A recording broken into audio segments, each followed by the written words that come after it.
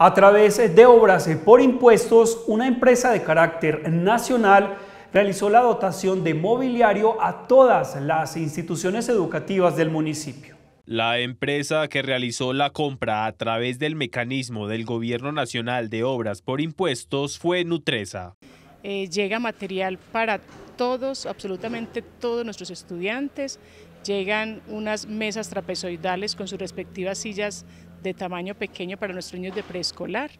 llegan el pupitre y la silla también adecuada para los niños de primaria y otra un poquitico más ampliecita, más grandecita para los estudiantes de bachillerato. Eh, también llegan escritorios con silla para los docentes, para nuestros maestros, que en muchas ocasiones no tenemos ni siquiera dónde ubicarnos bien, somos casi que esperando que un chico se levante para nosotros podernos sentar. También llegan tableros acrílicos, estamos muy contentos porque eh, yo creo que por primera vez en el mismo momento todas nuestras sedes, todas nuestras sedes rurales, todos nuestros establecimientos educativos eh, vestirán de gala y de colores y de comodidad las aulas de clase. Eso nos tiene muy contentos y de alegría de nuestros niños eh, con este buen mobiliario que en buen momento llega y que llegue absolutamente para todos, para cada una de las sedes rurales, para cada uno de los colegios, para todos los salones, tanto de, acá de la cabecera municipal como también para el Magdalena Medio. Hemos estado toda la semana por recibiendo estos camiones que llegan desde Bogotá con todo este material tan bonito. Para los directivos de las instituciones educativas, este nuevo mobiliario propenderá en la mejora de los procesos de aprendizaje, ya que los estudiantes recibirán las clases con comodidad. Institución educativa Rosa María de Pava en ese momento están llegando aproximadamente mil